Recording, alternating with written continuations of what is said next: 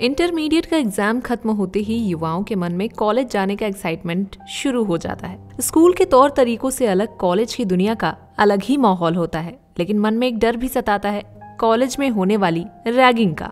ऐसे ही एक रैगिंग का वीडियो हाल ही में वायरल हुआ है।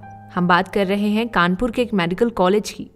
वीडियो में सभी छात्र एक लाइन में लगे हुए हैं। उन सबके दोनों हाथ पीछे हैं और बाल कटाए हुए हैं। सभी छात्र पंक्तिबद्ध होकर हॉस्टल की तरफ़ जा रहे हैं। ये वीडियो है कानपुर के गणेश शंकर विद्यार्थी मेडिकल कॉलेज का।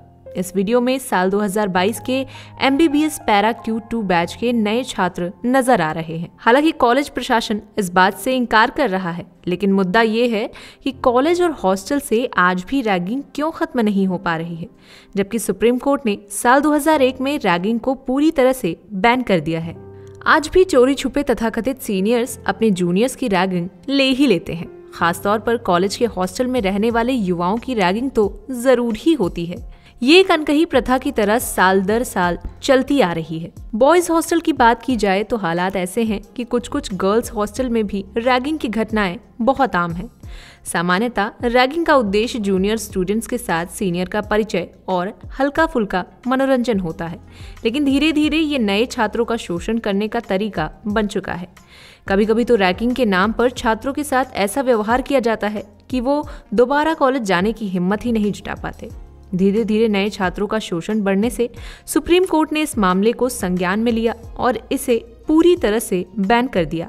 लेकिन आज भी छात्रों में जागरूकता की कमी के कारण कॉलेज में उनका शोषण हो जाता है। आज के इस वीडियो में हम आपको बताएँगे कि रैगिंग होने पर दंड के क्या प्रावधान है और कहाँ शिकायत करनी होती है। तो सबसे पहले शुरुआत करते हैं कि रैगिंग होने पर शिकायत कहाँ की जाती है। रैगिंग होने पर शिकायत दर्ज करने के लिए आप एंटी रैगिंग हेल्पलाइन नंबर पर कॉल कर सकते हैं। एंटी रैगिंग हेल्पलाइन नंबर है one eight double zero one eight zero five five two two.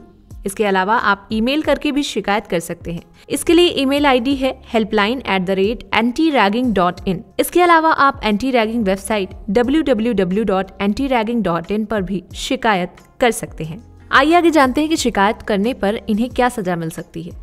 UGC स्पष्ट कहता है कि अगर कॉलेज रैगिंग की शिकायत करने वाले छात्र की मदद नहीं करता है तो पीड़ित छात्र निसंकोच होकर यूजीसी में शिकायत कर सकते हैं।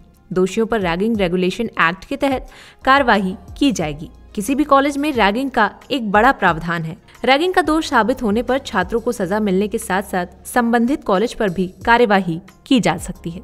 तो आज की वीडियो में बस इतना ही। फिर मिलेंगे किसी नई जानकारी के साथ। तब तक के लिए देखते रहें और करते रहें बातें यूपी की।